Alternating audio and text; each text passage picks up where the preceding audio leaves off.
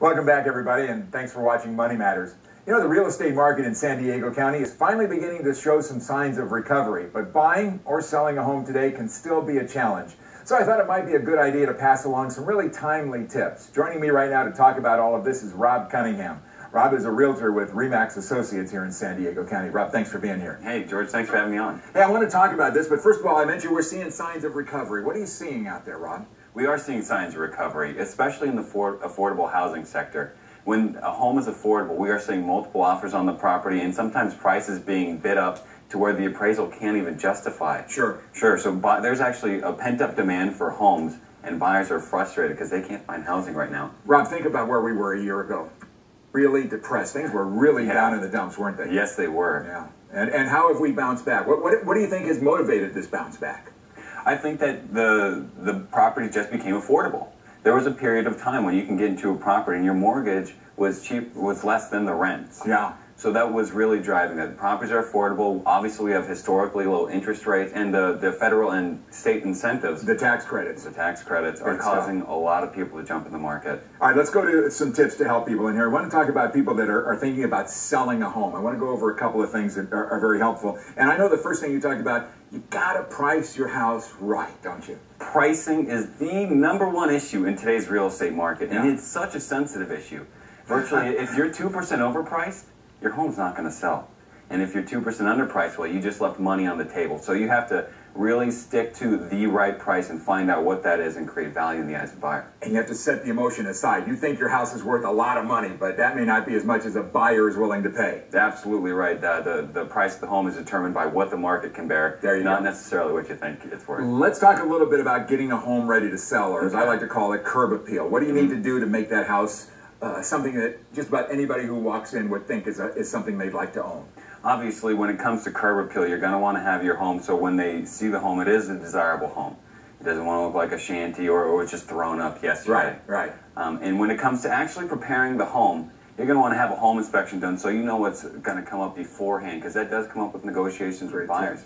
Yeah. I always recommend my sellers that you go ahead and have termite inspection done and even the work done so the buyers know that they're working with a responsible seller, and that does create value for the buyer. I, this sounds simple, but an inspection is much different than an appraisal, right? Absolutely. Okay, so you need to know the difference between, and they're both very important in the process. And one other thing on the selling side, uh, using a realtor, why is that so important? Well, it's so important because a realtor is going to help you price your home they're going to help you with the little tricks and tips such as getting an inspection, preparing the property, and most importantly, a real, an aggressive real estate agent is going to get you the exposure that you need to get you top dollar for your property, for really what the market can bear. All right, let's shift over to the other side now. We got some tips for people that are out there buying. And one of them is to make sure that you know what you can buy, how much you can afford, mm -hmm. and what's the process of doing that? Obviously, you're going to want to call a lender that you trust, and you're going to want to get pre-approved, and that will give you the confidence when you're out in the market that you know that you can afford the property and will give you the confidence in negotiating the best price when you do decide to buy the home. And you don't want to fall in love with a house that you can't afford, right? That's correct. That'd be a big problem. That'd be a big problem. All right, let's touch with another thing. Um, having a plan when you're going out there to, to buy a house. Uh, so that you can leave some of the emotions behind. How important is that plan, and what would you what would you say that plan should include? That plan should be very specific towards what you're looking for. So you should have a detailed outline of what you're looking for and what's going to work for you. And I always like to remind people that there isn't the perfect home out there. Yeah. We're going to have to compromise somewhere. So find something that works and don't overwhelm yourself with looking at too many homes. Stick to the best homes that your realtor refers you to and make a decision on that. And you know that for some people it's going to be schools are a number yes. one priority. For others, a quiet neighborhood. So let's go to the third point in the world we live in today, when you see a house you want to buy and you're ready to go, you need to act pretty fast if it's in that affordable range, don't you? Right. You have to be ready to go and write a strong, even your highest and best offer sometimes, because if you like the home, believe me when I say there's other buyers out there that are also going to like the home. Yeah. One of the things that's been a bit of a problem for your industry lately has been that a lot of the properties that are being sold are the either uh, bank-owned properties, short sales, foreclosures, and things like that. And the process does not move quickly, right. and that can be a frustration. How do you get your clients through that? That that can be frustrating for a lot of for a lot of home buyers and patience. Patience, patience is a virtue in today's market, especially when dealing with distressed properties.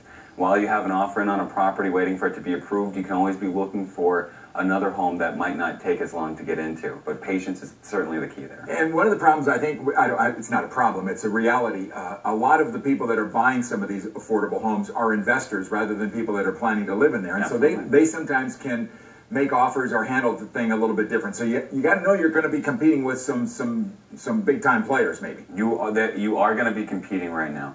And the best answer to that is to follow the advice of a professional realtor and do what they say because they, they're going to know what it's going to take to get your offer accepted in today's market. Yeah, and it's, it's, it's, it's tough out there.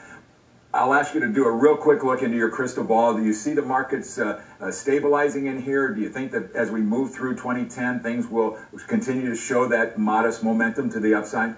I, am seeing momentum right now. Uh, a crystal ball is a really tough thing to look into for bet. me, especially. I mean, if I if you talked to me a year ago and said, "Rob, what's the real estate market going to be like in, in summer?" I would not have known that we are going to be having multiple offers on properties. Yeah.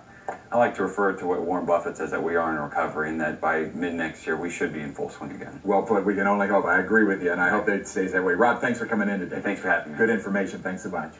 What's in store for San Diego's overall economy? Well, we're going to discuss that in the next segment. Stay tuned.